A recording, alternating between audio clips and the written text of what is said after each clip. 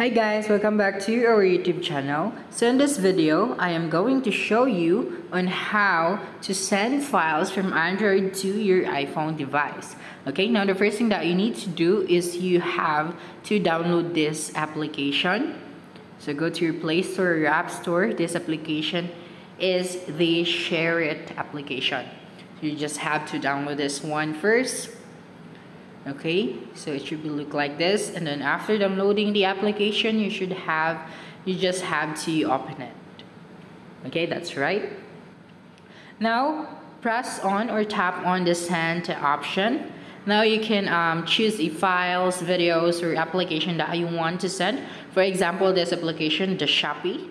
Then click on send now, uh, right after clicking on send, just um, tap on the options here and then click on next. So you can proceed.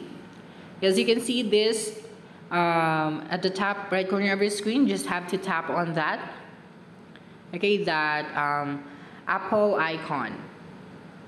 Okay, now just press on continue to connect to iOS devices okay this um, and then uh, you can just tap on this question mark at the top right corner of your screen and then it will show you the guide. Okay so the step one is you just have to use um, find the scan feature on SHAREit for iOS so right after finding the scan feature and now you can use your iOS device to scan this QR code here so that after that you'll be able to send files from your Android device to your iOS device. Okay so you just have to do this.